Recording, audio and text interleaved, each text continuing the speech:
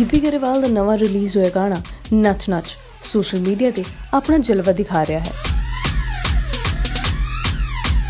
ਇਹ ਗਾਣਾ multi starrer ਦੀ featuring ਤੋਂ ਇਲਾਵਾ ਖਾਸ ਇਸ ਕਰਕੇ ਵੀ ਹੈ ਕਿਉਂਕਿ ਇਸ ਨੂੰ ਸ਼ੂਟ ਇਨ੍ਹਾਂ ਸਿੰਗਰਸ ਅਤੇ ਐਕਟਰਸ ਦੁਆਰਾ ਹੀ ਆਪਣੇ ਰੈਜ਼ੀਡੈਂਸ ਤੋਂ ਕੀਤਾ ਗਿਆ। ਜਿਸ ਦੇ ਬਾਰੇ ਗਿੱਪੀ ਗਰੇਵਾਲ ਨੇ ਲਾਈਵ ਹੋ ਕੇ ਦੱਸਿਆ ਸੀ ਕਿ ਬੋਹੀਮੀਆ ਦਾ ਪਾਰਟ ਉਹਨਾਂ ਦੀ ਵਾਈਫ ਦੁਆਰਾ ਸ਼ੂਟ ਕੀਤਾ ਗਿਆ ਸੀ। ਅਮਰੀਕਾ ਭੇਜਿਆ ਜਦੋਂ ਸ਼ੂਟ ਕਰਨ ਨੂੰ ਬੋਹੀਮੀਆ ਬਾਈ ਉੱਥੇ ਸੀਗਾ। ਸੋ ਉਹਨਾਂ ਦੀ ਵਾਈਫ ਨੇ, ਭਾਬੀ ਨੇ, ਸਾਡੀ ਨੇ, ਉਹਨਾਂ ਨੇ ਸ਼ੂਟ ਕੀਤਾ। ਹੈਗਾ ਬਾਈ ਐਦਾਂ ਐਦਾਂ ਕਰਕੇ ਸ਼ੂਟ ਕਰ ਲਿਓ। ਸੋ ਫੁਟੇਜ ਭੇਜੀ ਸੋ ਕਮਾਲ ਦੀ ਫੁਟੇਜ ਤੇ ਸ਼ਾਟ ਬਹੁਤ ਅੱਛੇ ਆਏ।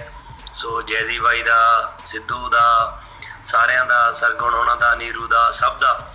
ਪਰਮੇਸ਼ ਦਾ ਜੱਸੀ ਬੱਬਲ ਹਰ ਬੰਦੇ ਨੇ ਆਪਣੀ ਆਪਣੀ ਐਫਰਟ ਇਸ ਗਾਣੇ ਦੀ ਵੀਡੀਓ ਵਿੱਚ ਦਿਖਾਏ ਗਏ ਰਣਜੀਤ ਬਾਵਾ ਦੇ ਸੀਨਸ ਦੇ ਪਿੱਛੇ ਵੀ ਆਪਣੀ ਹੀ ਸਟੋਰੀ ਹੈ ਜੋ ਕਿ ਖੁਦ ਗਿੱਪੀ ਗਰੇਵਾਲ ਨੇ ਦੱਸੀ। ਈਵਨ ਬਾਵੇ ਨੇ ਵਿਚਾਰੇ ਨੇ 5-6 ਵਾਰੀ ਸ਼ੂਟ ਕੀਤਾ। ਹਨਾ ਕਿਤੇ ਕਿਤੇ ਕਿਸੇ ਆਪ ਰੱਖ ਕੇ ਕੈਮਰਾ ਸ਼ੂਟ ਕੀਤਾ ਪਹਿਲਾਂ ਕਿਤੇ ਕਿਵੇਂ ਕੀਤਾ ਕਿਤੇ ਕਿਵੇਂ ਕੀਤਾ। ਹਨਾ ਪ੍ਰਿੰਸ ਯੋਵਿਕਾ ਉਹਨਾਂ ਨੇ ਸੋ ਇਟਸ ਸਾਰਿਆਂ ਦੀ ਐਫਰਟ ਸੀਗੀ ਇਸ ਵੀਡੀਓ ਵਿੱਚ ਰਾਜ ਕੇ ਗਲੈਮਰ ਪਾਇਆ ਸਰਗੁਣ ਮਹਿਤਾ ਅਤੇ ਨੀਰੂ ਬਾਜਵਾ ਨੇ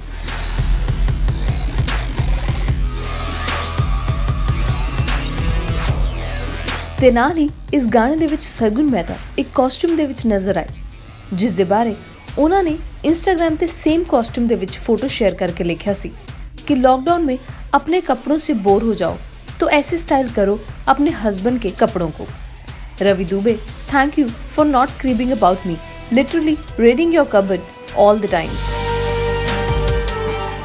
ਜਿੱਥੇ ਸਭ ਕਲਾਕਾਰ ਇਸ ਗਾਣੇ ਵਿੱਚ ਨੱਚਦੇ ਝੂਮਦੇ ਨਜ਼ਰ ਆ ਰਹੇ ਹਨ ਉੱਥੇ ਹੀ ਸਿੱਧੂ ਮੂਸੇਵਾਲੇ ਦਾ ਵੱਖਰਾ ਹੀ ਸਵੈਗ ਦੇਖਣ ਨੂੰ ਮਿਲ ਰਿਹਾ ਹੈ ਤੁਹਾਨੂੰ ਇਸ ਗਾਣੇ ਵਿੱਚੋਂ ਕਿਸ ਕਲਾਕਾਰ ਦਾ ਪਾਰਟ ਫੇਵਰਿਟ ਲੱਗਿਆ ਸਾਨੂੰ ਕਮੈਂਟ ਸੈਕਸ਼ਨ ਵਿੱਚ ਜ਼ਰੂਰ ਦੱਸੋ ਹੋਰ ਵੀ ਲੇਟੈਸਟ ਅਤੇ ਬਾਲੀਵੁੱਡ ਅਪਡੇਟਸ ਦੇ ਲਈ ਤੁਸੀਂ ਦੇਖਦੇ ਰਹੋ ਰੁਤਬਾ ਪੰਜਾਬ ਦਾ। ਗਾਣਾ ਜਦ ਤੱਕ ਸ਼ੂਟ ਕਰ ਲਿਆ ਰੈਡੀ ਹੋ ਗਿਆ ਰਿਲੀਜ਼ ਕਰਨਾ ਸੀ, ਕਈਆਂ ਦੀਆਂ ਅੱਜ ਪਹੁੰਚੀਆਂ ਕਲਿੱਪਾਂ ਕੇ, ਬਾਈ ਯਾਰ, ਸਾਡੀ ਤਾਂ ਪਾਈ ਹੋਈ ਨਹੀਂ ਗਈ ਅਸੀਂ ਤਾਂ ਰਹਿ ਗਏ। ਸੋ ਇੰਡਸਟਰੀ ਦੇ ਵਿੱਚ ਬਹੁਤ ਪਿਆਰ ਹੈ, ਇੱਕ ਦੂਜੇ ਨੂੰ ਬਹੁਤ ਪਿਆਰ ਕਰਦੇ ਆ ਸਾਰੇ, ਸਤਿਕਾਰ ਕਰਦੇ ਆ ਸਾਰੇ ਇੱਕ ਦੂਜੇ ਦਾ।